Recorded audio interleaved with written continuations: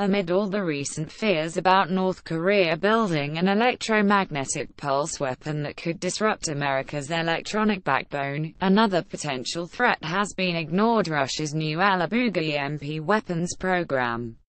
Russian media describes a program that appears to be aimed at developing tactical EMP weapons that would affect a small area, rather than strategic arms that would disable, say, a nation's entire electrical grid. One component of the program involves the development of an EMP missile that emits an electromagnetic pulse 200,300 meters above an enemy position by means of a high-frequency, high-power electromagnetic field generator, according to an article in Sky Gazeta and translated by the U.S. Army's Foreign Military Studies Office. This EMP would create an ultra-high-frequency UHF field of approximately 3.5 kilometers, not only disabling computers, radars, communications systems and precision weapons, but also making them unusable by damaging their electronic components. Although the system is non-lethal and causes no adverse effects to humans, the electromagnetic effects of the missile up to 100 gigawatts are reportedly comparable to a nuclear weapon. Recommended North Korea has 200,000 soldiers in its special forces recommended Why doesn't America kill Kim Jong-un? Recommended 1.2 million casualties if North Korea attacked Los Angeles with a nuclear weapon the U.S. Army also translated a Svobodnaya Pressa article on a Russian ground-based EMP weapon designed to bring down aircraft. The Ranets-E is based on a MAZ 543 wheeled chassis, weighing around 5 tons.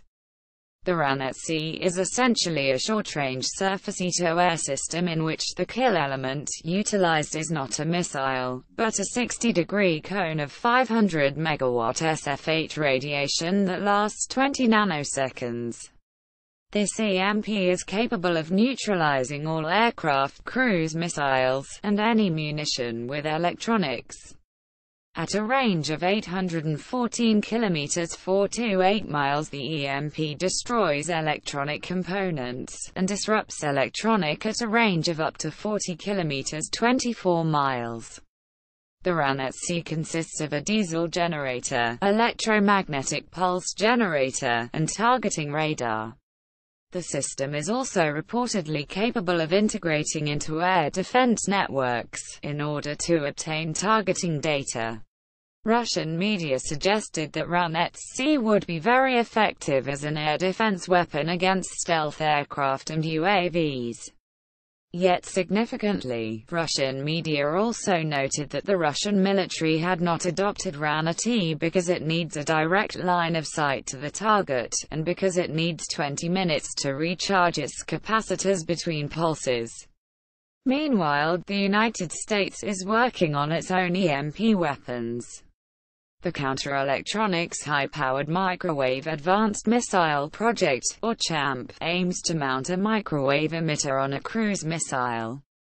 Such a weapon has been touted as a less violent means of disabling the electronics on a North Korean ICBM before it could be launched at the United States. Critics reply that if America were to attack North Korean WMDs, it might just as well use conventional munitions from the start. Michael Peck is a contributing writer for the National Interest. He can be found on Twitter and Facebook. Image Russian RS-24 Yars-27 Mod 2 solid propellant intercontinental ballistic missiles during the Victory Day Parade, Moscow, May 9, 2015. Reuters RIA Novosti